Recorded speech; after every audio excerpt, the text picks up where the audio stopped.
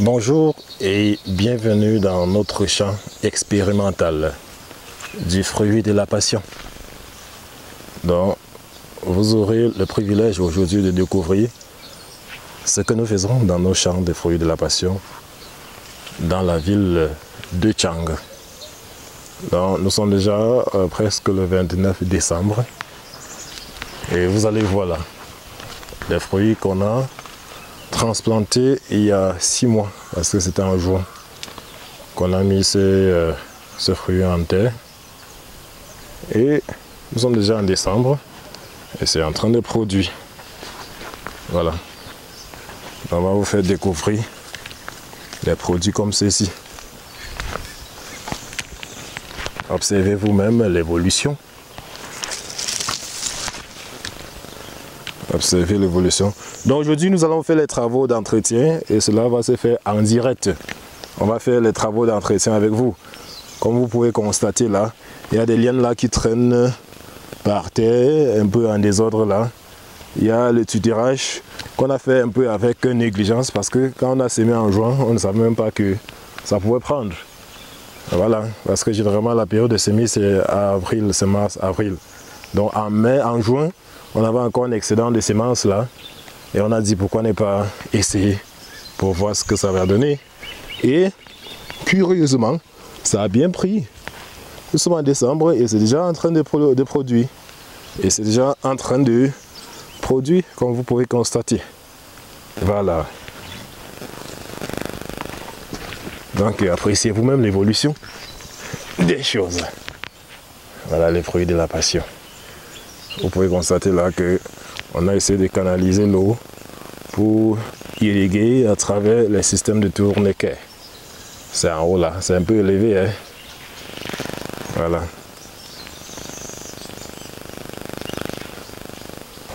Donc presque 5 mois, 3 semaines après, nous sommes arrivés là. Nous avons fait ce constat. Voilà. Vous allez constater là, je ne sais pas si ça se voit bien, les fruits sont bien disponibles là. En quantité. Hein malgré le fait que le champ a été fait avec beaucoup de négligence. Donc je vais profiter là pour vous dire qu'il y a certains aspects techniques qui sont assez importants lorsque vous vous lancez dans une activité comme celle-ci, l'activité de la culture du fruit de la passion. Voilà. Donc vous ne devez jamais blaguer avec le nettoyage de votre champ. Vous allez constater là, il n'y a pas assez d'herbe. Il y a les petits là qui sortent déjà. On va y euh, passer le désherbant. Voilà. Donc, on va passer le désherbant. Mais avant de passer avec le désherbant, il y a une opération d'abord qu'on va faire. L'opération en question consistera d'abord à soulever les lianes là, qui sont au sol. Parce que je vous ai dit que le champ a été fait avec beaucoup de négligence.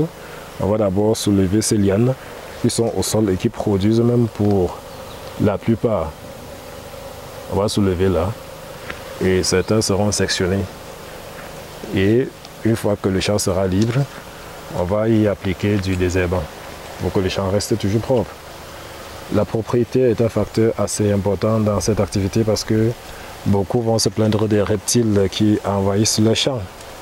Je vais préciser que si votre champ est bien propre, le pourcentage euh, d'éloignement des reptiles sera quand même élevé. Ce sera difficile de les éloigner à 100%, mais le pourcentage de dissuasion des reptiles sera assez grand lorsque votre champ est bien propre. Donc observez le fruit de la passion qui est en pleine production après pratiquement 5 mois et 3 semaines. Donc lorsque nous arrondissons, nous disons 6 mois. Voilà. Observez là. En pleine production. Observer.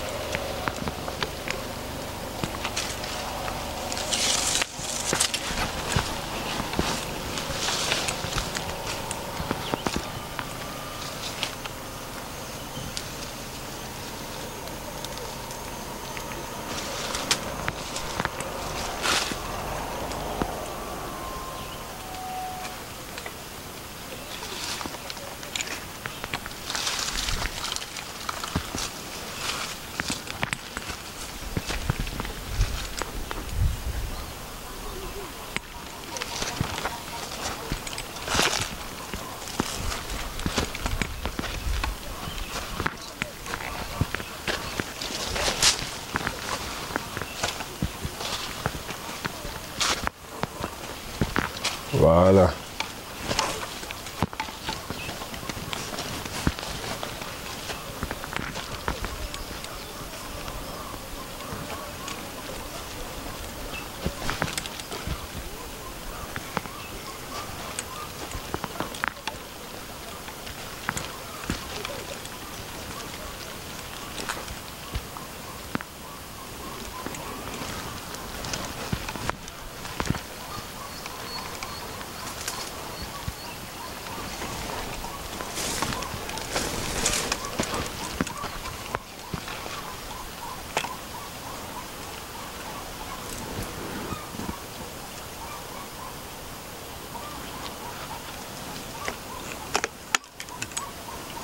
Dandana Hein? Dandana. non, c'est facile. Voilà. Ouais, je pas Imendi, non? Le chat, ça a produit les lianes là.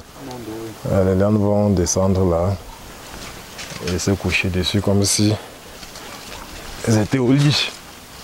Dans mon doko. Voilà. Donc quand c'est comme ça, maintenant le champ est sécurisé. Il faut juste euh, mettre les. renforcer les tuteurs. Ouais, renforcer les tuteurs là. Et le tout est joué. Même si euh, c'est après deux ans. Oui. Après deux ans, euh, ça sera toujours comme ça. Trois ans, même pas, c'est le plastique. Oui. Oui. Et généralement, ce qui détériore le plastique, c'est le soleil. Mais une fois que les lianes vont se coucher dessus, ça va protéger en quelque sorte contre les rayons. Les feuilles vont prendre, vont recevoir directement les rayons. Donc le plastique là ne sera pas directement attaqué.